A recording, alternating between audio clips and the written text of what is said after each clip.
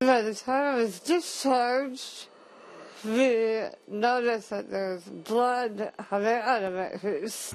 She says it was dehumanizing. Three weeks at a Winnipeg hospital without a shower. A patient at the Health Sciences Center claims it was all because she has a disability. Crystal Rondeau, who has type 2 spinal muscular atrophy, says the ward she was in didn't have an accessible bath, and now she's developed a pressure sore in a crease on her side. She says her attendants tried to sponge bathe her, but had difficulty accessing the area, which is easily cleaned in a tub. I was extremely pissed off, um, worried, because I know that pressure sores and it really badly affected and affected. Lots of people like me end up dying from them.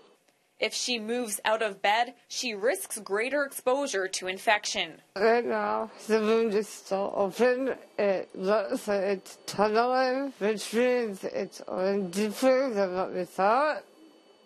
So I'm not able to sit up. I lay in my chair, which means I can't hold on any outings. So if I want to with my friends or my boyfriend or with my attendance, I can't because I can't sit because I'll open that sore even more.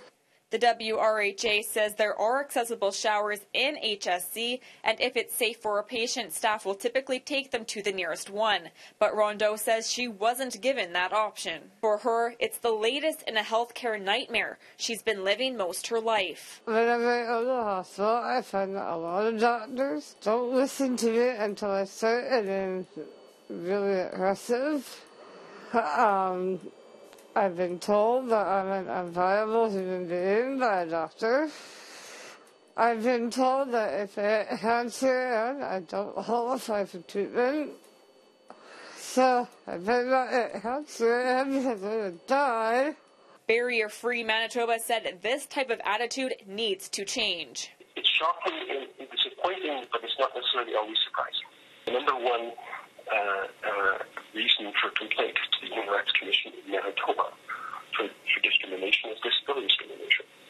It makes up about 45% of all complaints around discrimination in Manitoba. Is that shocking? I think so. Is it surprising? It's been that way for the last 15 years.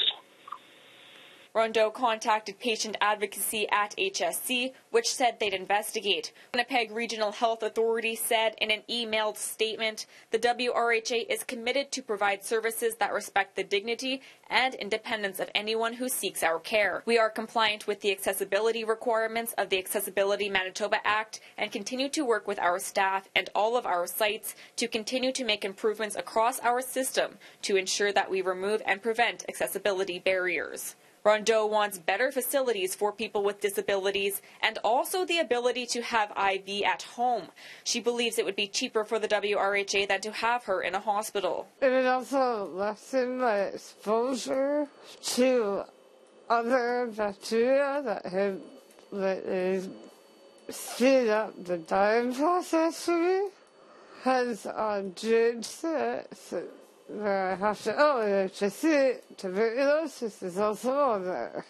The WRHA is working on an accessibility plan that identifies attitudinal and physical barriers to work on, but the process for how they purchase specialized equipment has yet to be finalized. Barrier Free Manitoba says there hasn't been any audit to assess how well equipped Winnipeg hospitals currently are, but says generally they aren't very well equipped, and that this study or audit would be the first step. In Winnipeg, Stephanie Lasuk, City News.